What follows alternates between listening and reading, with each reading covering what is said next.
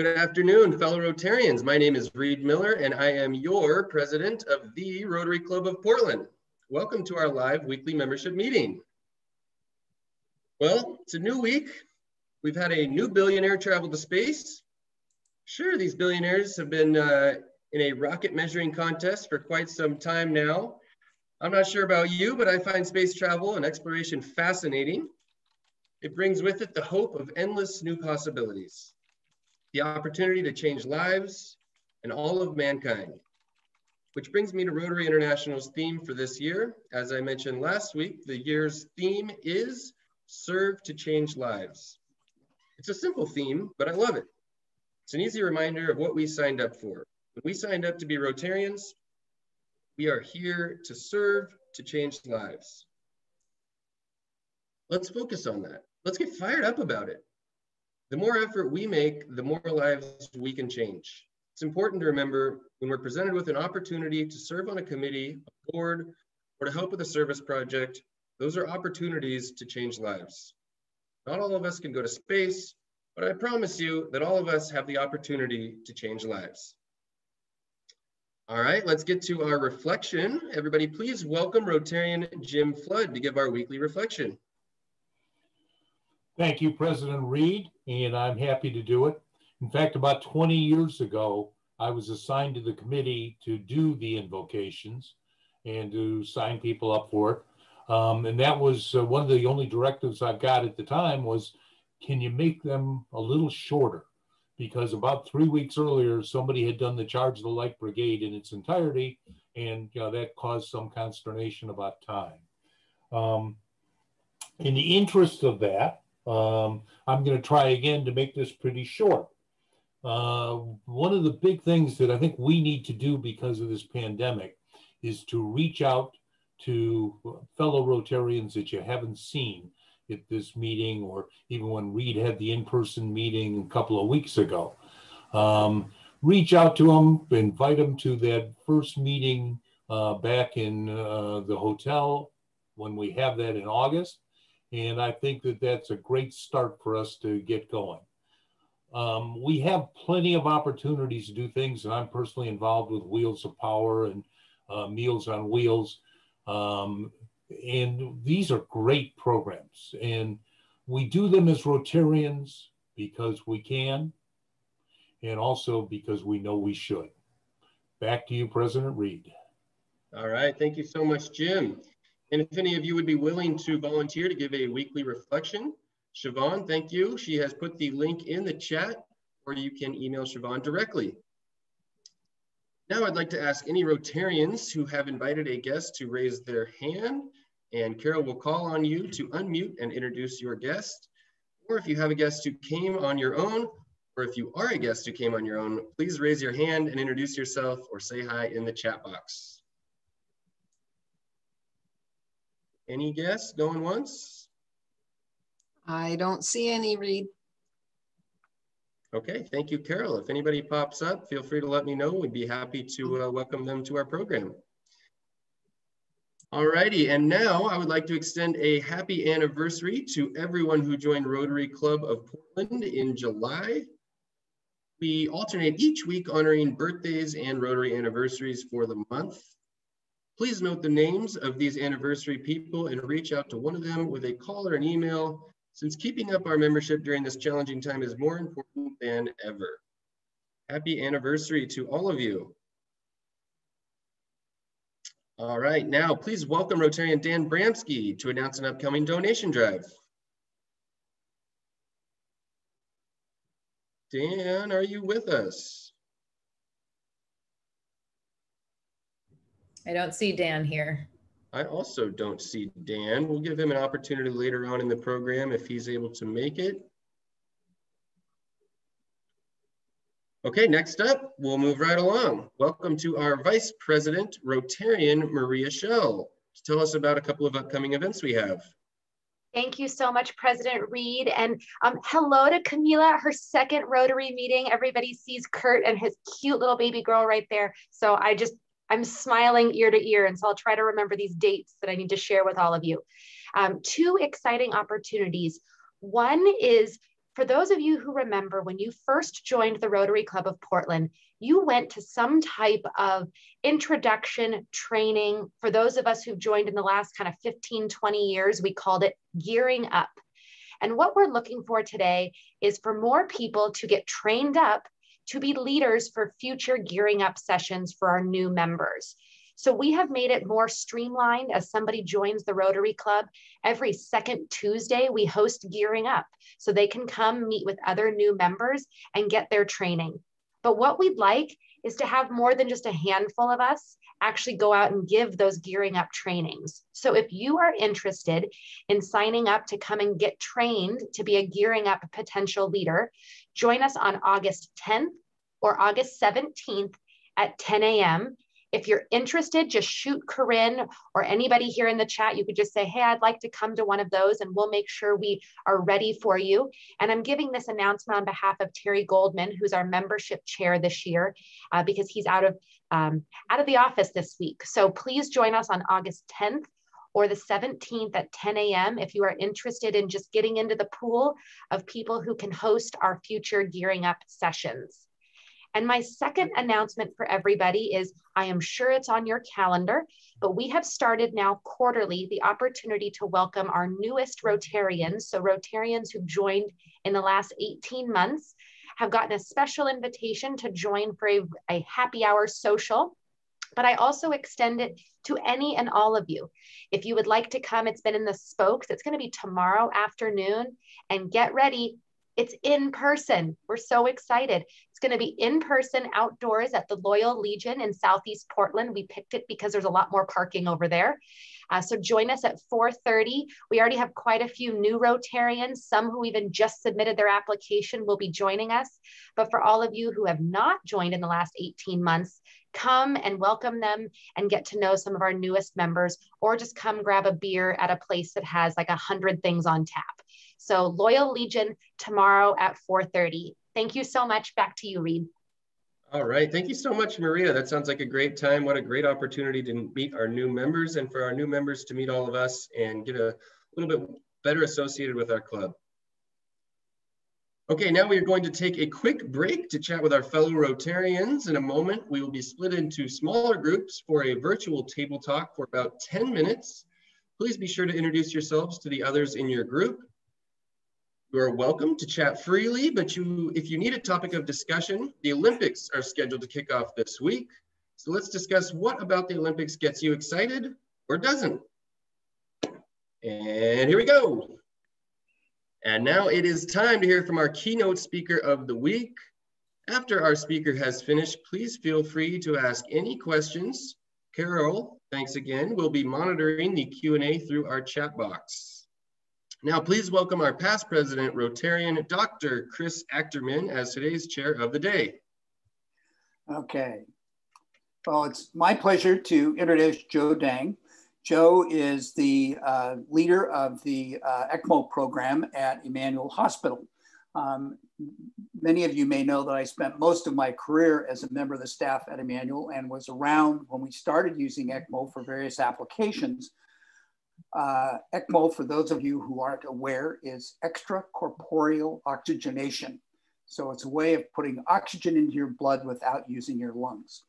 Uh, Joe is a physician, he's an anesthesiologist and a member of the Oregon Anesthesia Group. And he uh, was challenged with being able to use ECMO uh, to uh, treat COVID patients and put together a team to accomplish that with the unique challenge of not only having to use ECMO, which is complicated enough, but having to use ECMO on highly contagious patients and do it in a way that was safe both for the patient uh, and the staff. So without further ado, here's Joe Deng to tell us the story of ECMO and COVID at Emanuel Hospital.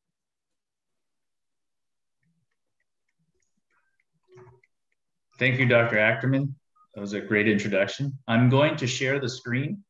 Um, I'd like to say for those who are joining us a little later, if there are images that you find uh, not okay uh, because of guests in the room, please just send a chat to me and I'll race through them, okay? Or raise your hand. Here we goes. All right. Um, Corinne, can you give me a thumbs up if you can see my slides? Great. So thanks very much. Um, my name is uh, Joe Deng, and uh, I am the director of the ECMO program at Legacy Emanuel. You may know ECMO also as ECLS. It's basically stands for extracorporeal membrane oxygenation, oxygenating your blood outside your body. Okay. Um, I'm going to give an overview of my talk. Basically, I'm going to talk about who I am and who we are as a program, our history a little bit. Uh, some of you may actually remember when we started our first case, um, and show a few pictures, diagrams mainly, of how the, the machine works to help people. Show you where we've been in our on our transport team. So we actually take most of our show on the road. Uh, we don't just do it at home. We actually are mobile. Um, and then I'm going to move into some more graphic pictures of patients. These have all been uh, cleared by legal and ethics and all those important people. And then I'll show you sort of uh, uh, a little bit more medical data about what we do. And then um, I'll introduce you to some of our survivors over the years. And then we'll open it up for questions. And hopefully, um, if, if I start running um, short on time, if someone can give me a gentle Zoom tap, that would be greatly appreciated. Um, I understand uh, about 30 minutes, 35 minutes. Is that right? Okay. All right.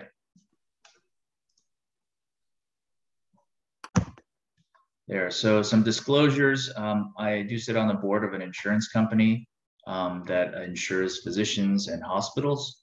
Um, we deal with uh, quality improvement and risk management, and I will be discussing what we doctors call the off-label use of medical devices. So the ECMO machine is only FDA approved to be on a patient for six hours. We have had patients on it for three months. So that is a little bit off label. And as Dr. Ackerman will tell you, we do a lot of things off label, and this is one of them. So our story is it starts in 1985. Um, there was a company uh, named Bard that invented a thing called the CPS machine.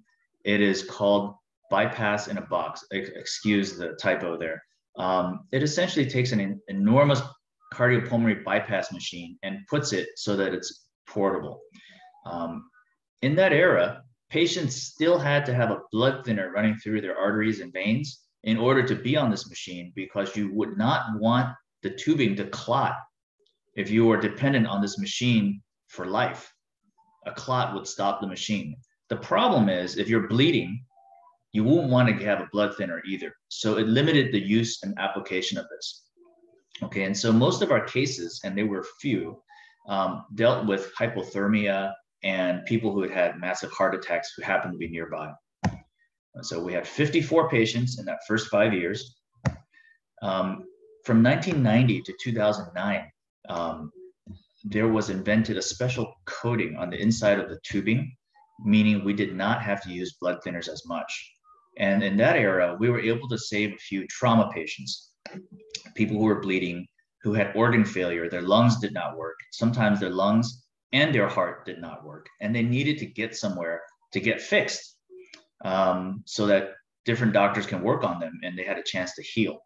And so we had 46 patients, and that was a 19 year span. So it was hard to use. Uh, and also because EMS had really developed during that time. And so a lot of times our team did not have to go out to get a trauma patient. Um, the local ambulance companies and Life-Flight were able to bring them to the major medical centers. So that was a blessing.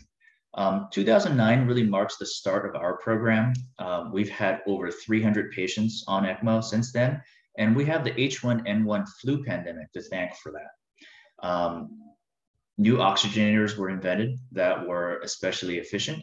And we started using something called the VDR ventilator at that time. It's a very old style ventilator that shakes a patient at several hundred times a minute.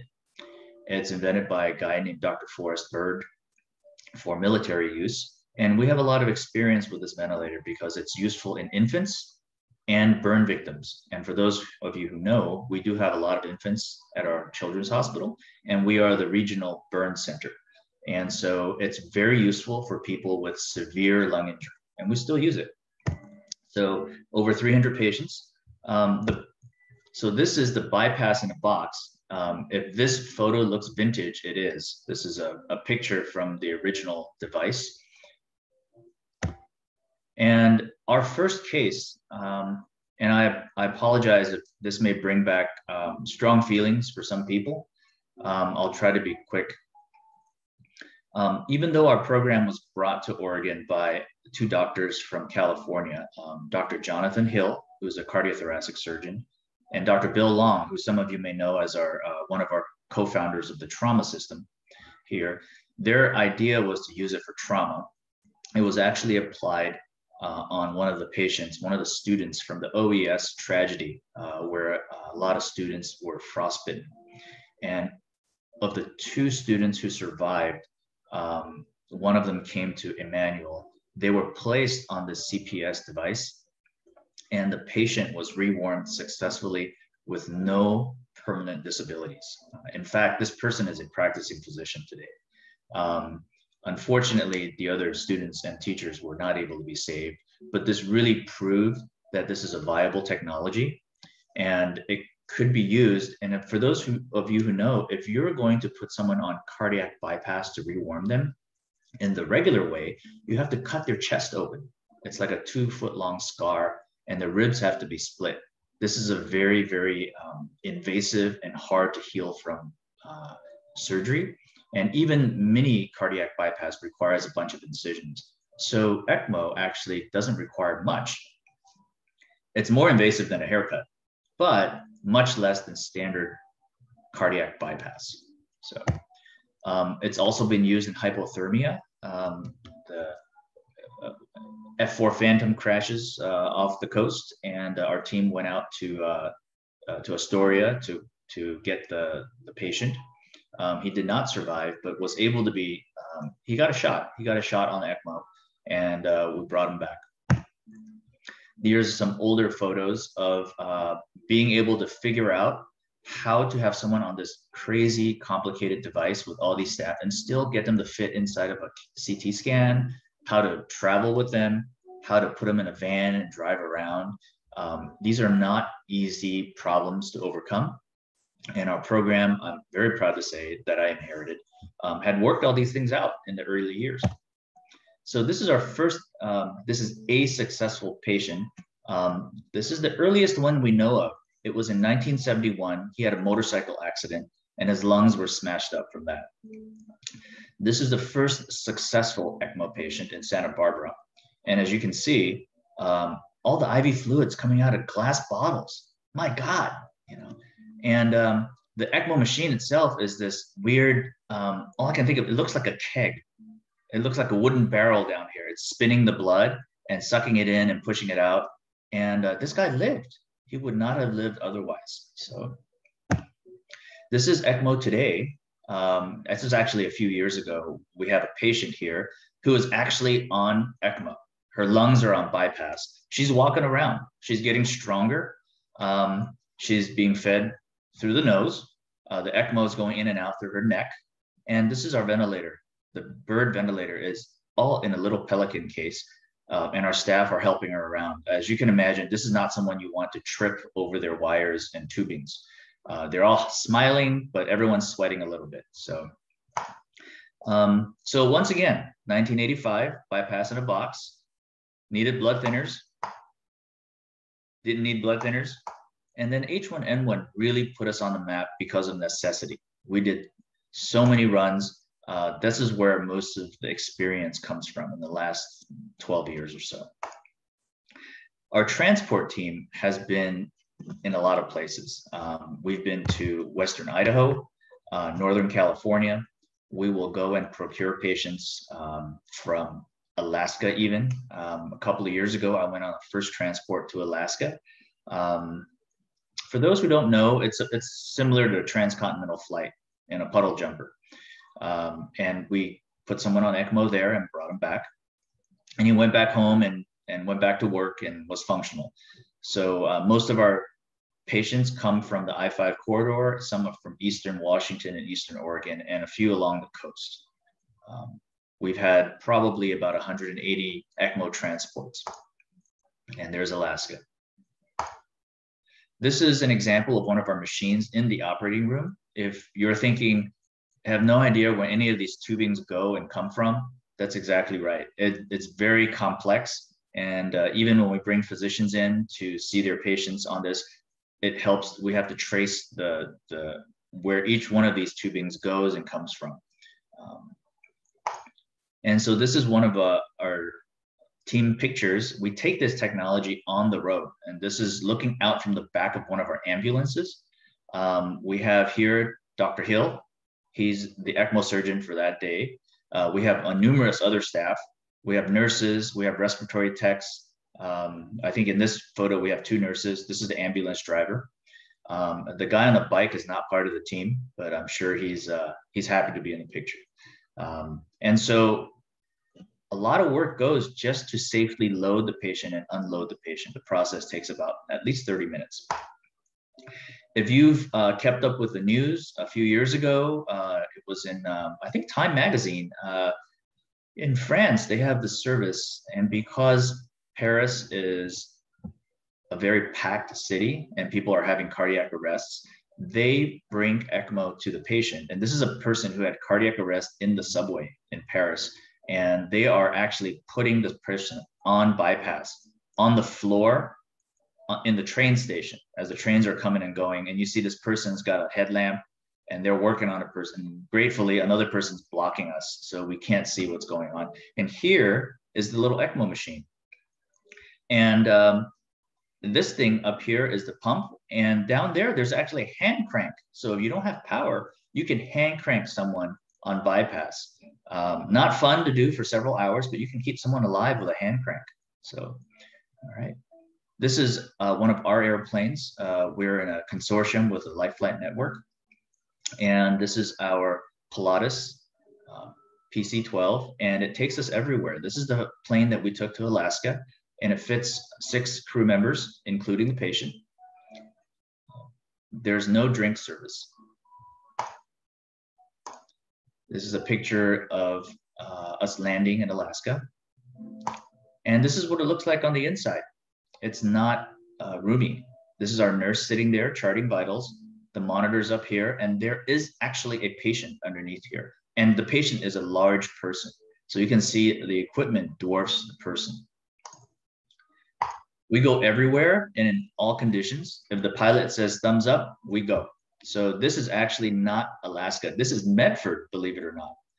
Um, we were just uh, coming out of the airplane in Medford. There's actually a patient in here, and don't worry, they have artificial warming to the circuit. Um, and we unload them from the side, and we go to the ambulance. And this is the chair that has to be removed from the airplane so that the patient can go in and come out. Traditionally, our patients are um, are obese. Uh, unfortunately, being obese puts you at risk for all kinds of lung failure. And so we have things set up to accommodate that. This door is very large, and we have a lift system that we helped invent to do this. Um, I'm, I'm here on the left without a mask. This is pre-COVID. This is our life flight nurse, our physician's assistant who's been with the program for many, many years, our critical care nurse, and he is a perfusionist uh, who specializes in circulating blood outside the body. Um, this is our ECMO team.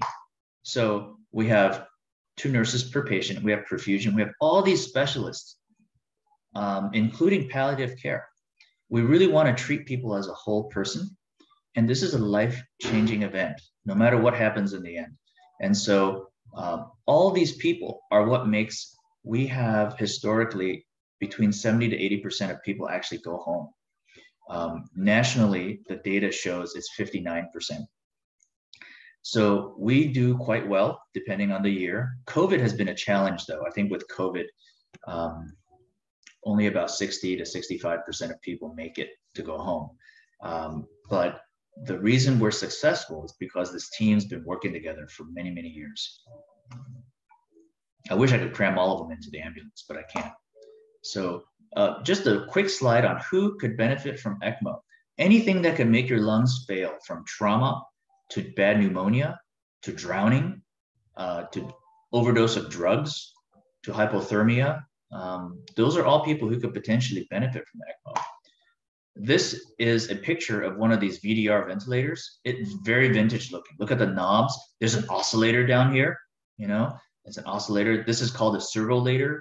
This is called a percussionator. I mean, you could tell it was invented in a certain era, okay? This is it being used on an actual baby. It's very gentle. And this is it being used on an adult. And yes, she is awake. Um, and all the readings and things like that there. Um, Okay, on to what is ECMO? So this is the primary ECMO mode that we use for uh, lung failure patients or COVID patients. A team surgically connects the large vein in the groin with a, with a tube. And this tube is snaked up to almost where the heart is, and it drains the blood out of the patient. This is the, the blue blood, the blood that needs oxygen. It goes to the machine, gets oxygen, gets the CO2 taken out, and it's there's another tube surgically implanted in the neck that sits just above the heart. And this oxygenated blood goes into the heart. And it's the heart's job to pump it to the lungs. And so that's what ECMO is it bypasses the lungs. And in reality, it partially bypasses the lungs. It doesn't completely bypass the lungs. And so in a in a uncomplicated case, you're just left with a small scar in the groin and a small scar in the neck. Okay. This is essentially, think of this as oxygen coming in the IV. Um, the other type of ECMO is full cardiac ECMO. The vein is the same. We drain blood the same, but it goes back. The good blood goes back into an artery right in the groin, and it shoots the good blood backwards up, up your aorta and back up into the heart. Because the heart's not pumping in this case, we shoot it backwards, and it feeds all the organs on the way up. It feeds the brain and the arms. Um, this is not the natural direction of blood flow. So if a person doesn't need this, we don't apply it. There are a lot of complications uh, involved in shooting someone's blood against the natural flow. So it does keep someone alive, but it's a temporary mode. Okay, and I'll move on. Uh, this is the way that ECMO is done if um, we have to open their chest, and it is not pretty okay, this is a person sideways and their chest is actually open. The tubes are going in. Uh, gratefully, someone's packed it with gauze so you don't have to see everything and put a plastic wrap that's antibiotic coated on top called Ioban. And this is how we get them. You know, they come to the ICU this way and we have to get them better. Um, this is another way to do it where his chest has been sewn closed and we've been able to tunnel all these tubings through his abdomen so that he doesn't have an open chest exposed to the environment. That's not a good thing. In general, you don't want to run around with your chest open. Uh, germs get inside and and things like that. And there's not enough betadine or iodine in the world to clean that. Okay, so um, this is how we do it now. This is a picture of someone's groin. Okay, this is the part that I would cover with an oak leaf. Okay, this is the belly button up here. I hope everyone can see my pointer. And these are the two, two cannulas. And you can see, one has dark blood coming out of it. That's the blood we're draining. And one has bright blood going in. So that's the blood, that's the good blood. And the machine is somewhere out of the picture. This other one with the bright blood, if you're very astute, coming out here and going down, not up, this is to feed the leg. Because if you think about it, if I put this in the blood vessel to the leg, then where does the leg get its blood from? Well, the, it, we, we siphon off a little bit and we feed the leg this way. Otherwise, your leg dies and that's not good.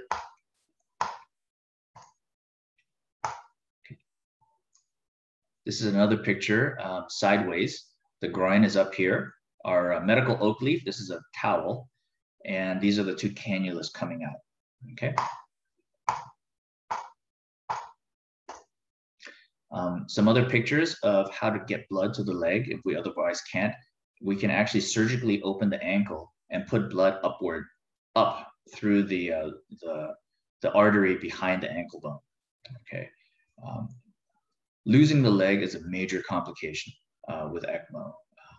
So we try to avoid that whenever we can.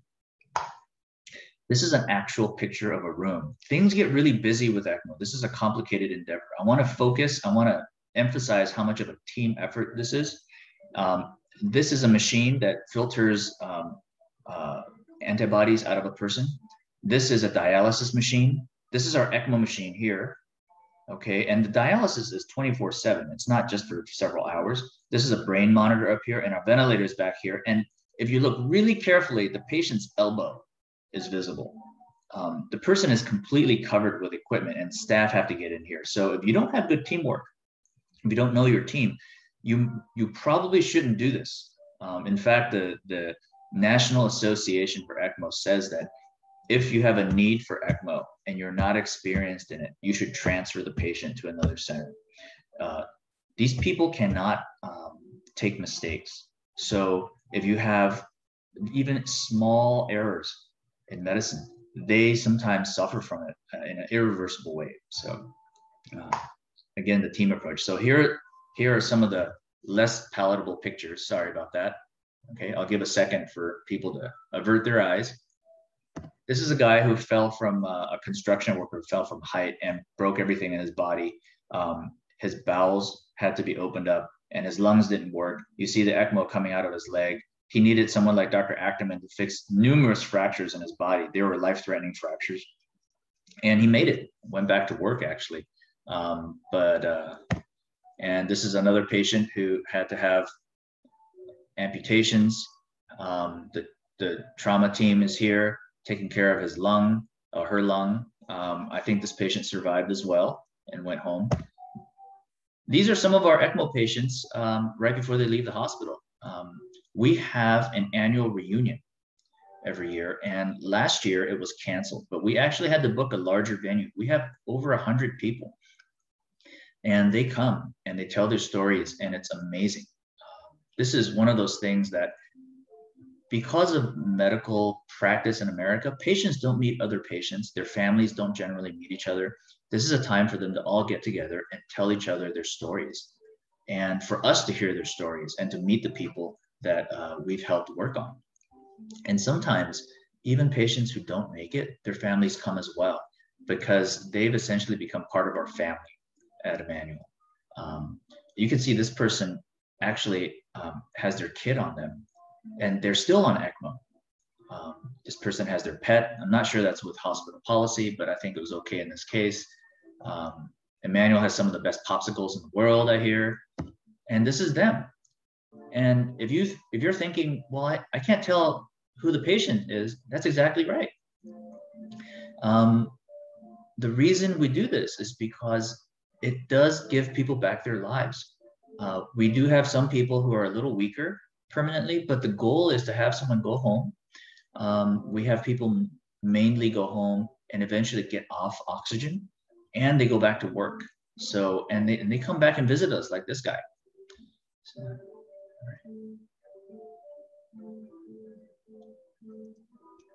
so our team of transport ECMO consists of 90 specially trained nurses. That's what it takes to make this whole thing work.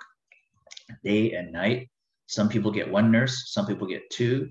Um, we have about 30 respiratory techs that travel with us and take care of people's lungs. And we have eight physicians, um, six of whom, uh, I'm sorry, seven of whom actually will take call and join me in, in being called at night, uh, get on an ambulance, get on an airplane for who knows where, and go to a place where a patient is so sick they cannot be transported by regular means they have to be on something more than a ventilator.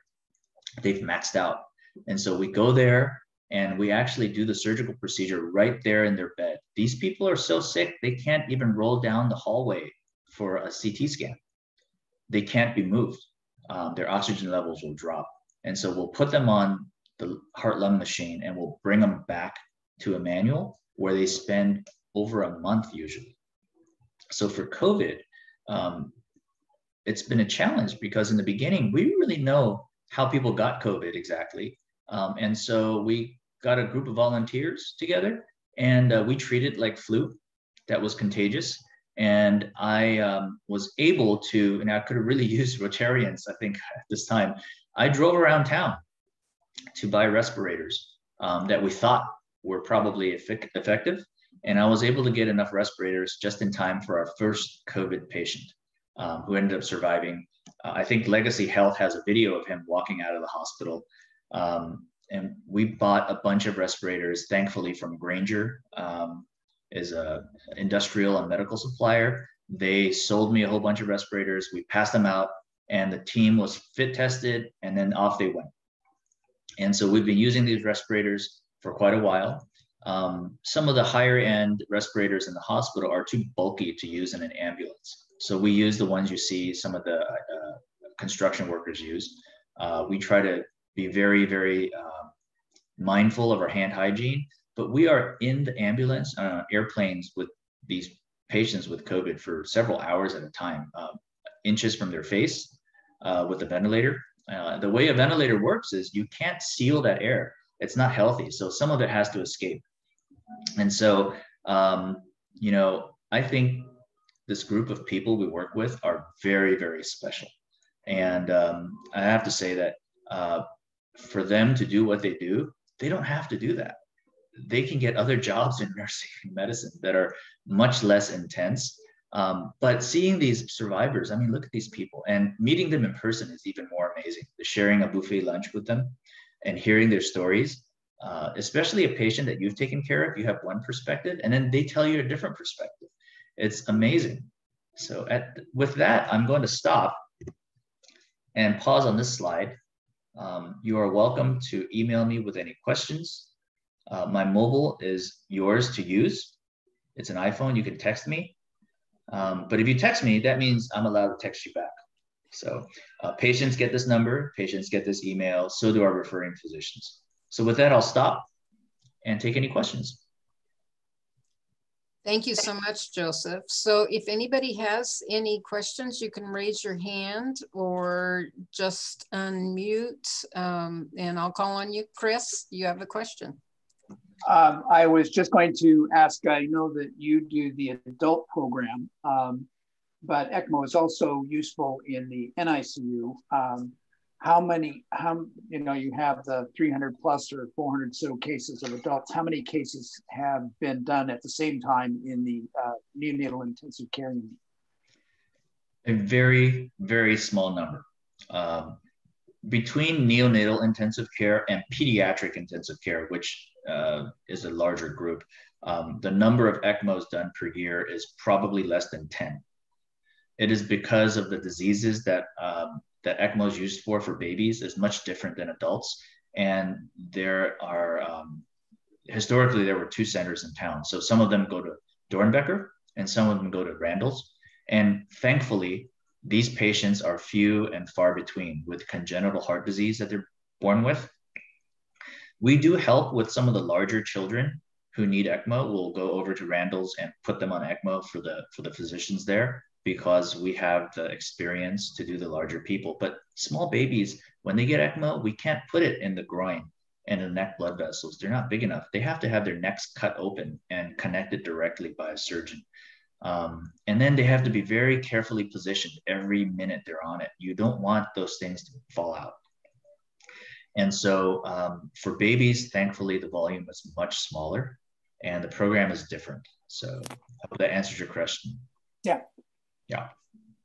This is fascinating. Um, are there other questions from anybody else? Well, thank you. Thank you. I'm going to turn it back over to Reed. Okay, thank you so much. And, and actually, before I, I move on, Carol, I'll give you a moment just to plug uh, the quick announcement that we had from Dan earlier. Carol's going to step in and give an announcement for that. Thank you, Carol. Okay, thank you, Reed. Uh, Reed. My name is Dan, and my announcement today is that we are seeking donations of water bottles for the uh, Blanchet House. Um, they fill up these water bottles, they make them nice cold water, and they hand them out to the homeless people that come by to get food and everything. So if you have, eh, like we all do, have those water bottles that we get from conventions and other places that you're like, oh boy, another water bottle, then put them all in a bag and bring them to the meeting on August 6th, and we will make sure they get to the right place. August 6th? I thought it was August 3rd. I think it is August 3rd. Oh, Same okay. difference. We get the point though, Carol. Bring your August- water bottles to a meeting. I have a question. Do those, those can be used water bottles, it sounds like, or do those need to be new? Yes, they can be used water bottles also. They will be uh, disinfecting them. Okay, excellent. I have a couple of those I will certainly be bringing. Thank you, Carol, for that announcement. Next week, we will hear from the legendary Scott Burns on the Lake Ridge Rhyolite Boulder and the great mystery of how it got to Lake Oswego. Be sure to tune in to hear from one of the most riveting speakers in the world. Scott Burns is guaranteed to knock your socks off. Next week's meeting will once again be live via Zoom at noon on Tuesday. Don't forget the following week, as Carol just mentioned, the week of August 3rd, we are planning to meet back in person at the Sentinel. Pre-registration for the in-person meeting is required. Please visit our website for registration as it is likely to fill up. Beyond that, reach out to your friends and make sure they get registered as well. We don't want anybody to have to miss this excellent event. Remember, if you have a speaker idea, you can submit them on our website. Siobhan will put the link in the chat. Thank you so much, Siobhan. All right. I would like to thank Jim for your reflection this morning. I would like to thank Carol for stepping in to introduce the donation drive for Dan, Maria for your event announcements, and to Chris for providing our speaker introduction today. And lastly, thank you so much, Joe. We appreciate you making the time for our club today. That was a fascinating presentation. I learned a ton about that. I thought it was really, really interesting. So thank you so much for taking the time. You did a great job with that presentation. Uh, you're welcome back anytime as a guest or maybe a future Rotarian. Please come back and join us another time. Thank you. And as we close today's meeting, let's all remember why we're here. We serve to change lives. Let's continue to focus on the lives that we change and continue to step up and to do the right thing. Thanks again to all of you for joining us today. This meeting is adjourned.